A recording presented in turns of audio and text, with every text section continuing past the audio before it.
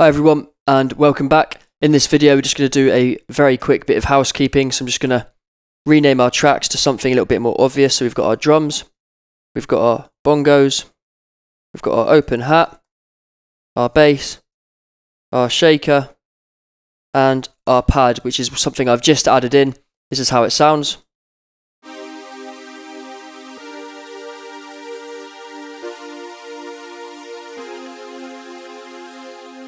So as you can see, I've made this uh, 8 bars long and what I've also done is I've made some of these other clips a bit longer as well. So this is our breakdown clip and if I just play this through, what I'll do is I'll rename some of these scenes as well.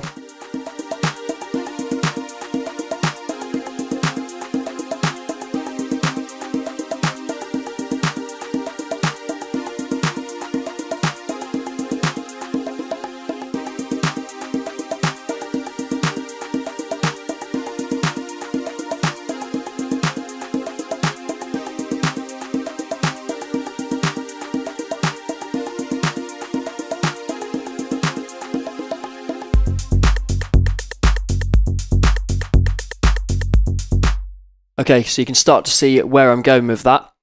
And before we move this across into arrangement view, and I'll show you a very basic a bit of stuff going on in arrangement view, what I want to do is just show you how to record in MIDI from a MIDI keyboard.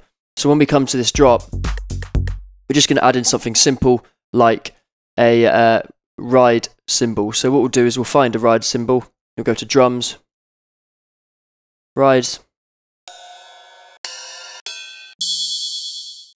The 909 will be fine for this. I'm just going to drag this in. In fact, we need to create a new track. A MIDI track. And then we'll just double click like this and then we have our ride cymbal. What I'll do is I'll just rearrange this so we have all of our drums in one place instead of all over the place. We've now got our ride and what we're going to do is just go into our preferences and make sure we've got our keyboard set up. And in this case I have so you can see here we've got the input and we have the output for my keyboard. Some of you might actually have a control surface, so if you've got any thing that's listed here, there's loads of different keyboards and control surfaces. And what I'm using, the Komplete Kontrol by Native Instruments, it's just a large keyboard. It is also a, uh, a control surface, but at the moment I've not got it set up like that. So all we need to do is make sure that we're tracking the input and we're tracking the output. We don't actually need both of these. And if you want to MIDI map it as well, then you turn the remote on, but we don't need to worry about that for now. We just need to make sure we're tracking. And then we can test by hitting some notes on the keyboard and we should see this light up here. So now I'm using a proper keyboard instead of just my computer keyboard. And because we've got record arm on, we're hearing it come through here as well. So we can find C3. And we have our ride cymbal. So all I have to do is we've already got these highlighted as being played. So as soon as I hit record, then it's going to record straight away. And all I have to do is play in some ride cymbal notes.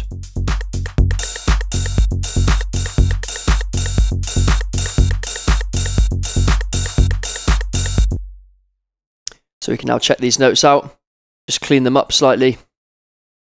We use a keyboard shortcut Command and A to select them all, or we could just select them all like this. And then we can quantize them we can either quantize them by using this quantize feature up here, or we could just use the keyboard shortcuts. So either Command U or Command Shift and U, depending on if you want the settings as well. I'm going to do it so I get the settings. Just hit quantize. And now it's pulled all of these notes into place. So let's just crop that. We don't even need it to be this big. Something like this will be fine. And now we've just recorded in some MIDI notes. We can make these legato. And you can see there's a note that should be at the start, so I'm just going to pull this ahead of the beat. I'm just going to finish off that note so we don't get that weird sort of uh, gap in the sound. So without, with,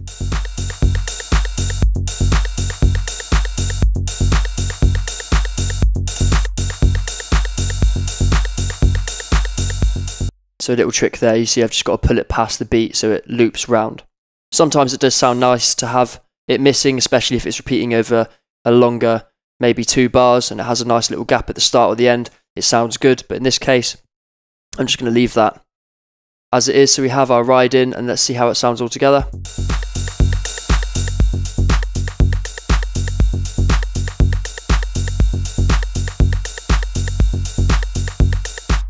Perfect. So in the next video, I'm going to talk about session view and arrangement view and how we actually get this idea or this sort of color palette that we've created of different ideas that we can play with. How do we actually get that into a finished track and something we can listen to outside of Ableton Live?